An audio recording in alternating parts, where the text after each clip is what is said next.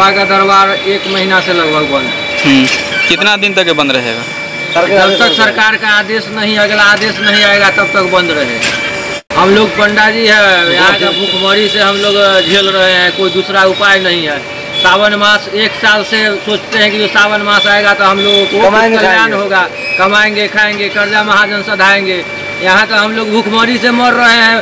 जो जजमान लोग आते हैं बाहर जो अपना पानी उझल के चले जाते हैं अंदर में कोई उपाय नहीं। है यहाँ पानी का व्यवस्था है जल का व्यवस्था है गंगा जल का व्यवस्था है जिससे भोला बाबा का श्रृंगार आरती अर्चना पूजा होता है। तीन सौ पैंसठ दिन बाबा का दोनों टाइम आरती पूजा श्रृंगार महाश्रृंगार भोग राग इत्यादि सब कुछ होता है यहाँ पर। विशेष पूजा आपको तीन बज तीन से पाँच तक विशेष भोर में तीन से पाँच तक विशेष पूजा है। फिर संध्या छः से नौ नौ। बजे तक विशेष पूजा है।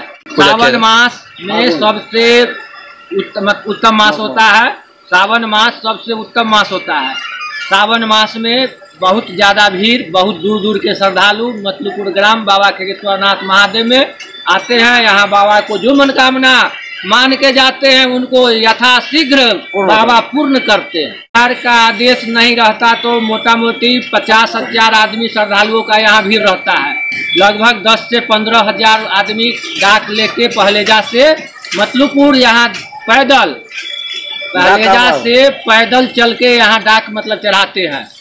वहाँ चार पाँच बजे शाम में रविवार को डाक उठाता है और तीन बजे भोर से डाक चला चढ़ाना चालू हो जाता है। आठ बजे तक डाक का सेवा खत्म हो जाता है। इसके बाद ग्रामीण श्रद्धालु या अन्य गाँव के आए हुए व्यक्ति बाबा लोग। को जल चढ़ाते हैं। यहाँ आपको मुजफ्फरपुर खुले एरिया के आदमी आते हैं। दरभंगा दरभंगा का भी आदमी यहाँ पहुँचता है।